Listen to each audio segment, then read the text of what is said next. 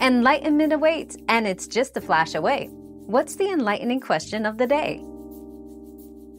Yes, leaving honey on your face overnight can improve your skin.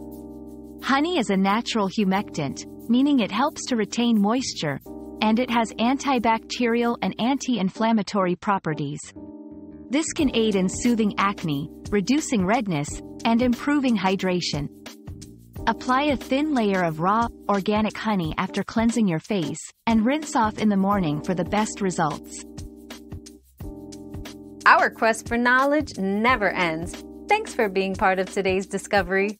Subscribe, like, and share to join us on the next one.